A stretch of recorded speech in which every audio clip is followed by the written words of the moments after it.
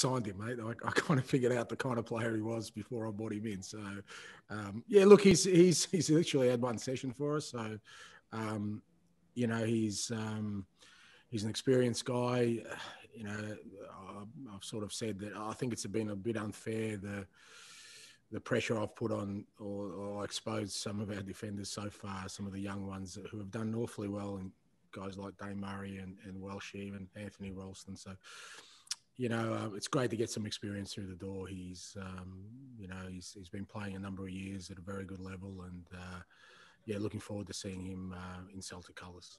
We're at the moment we're still a very very young group. I, I, don't know what the average age of our starting eleven was the other night, but you know, even uh, I think Cal McGregor has done an unbelievable job as a leader in these first few games. He's just stood up, both in performance, attitude, everything, but you know, he needs help. He needs some some other experience heads, and and it's good to get Carl here. I think it's a boost for the whole squad, and even to get you know Nir Bitton back available um, also helps because you know when when you're sort of starting off, um, you know, in these challenging circumstances, you, you, rely on the experienced ones to be able to cope with what's uh, you know whatever pressures are around. So um, I, I, think it gives the whole squad a lift to see you know Carl here and and looking forward, as I said, to seeing him in action.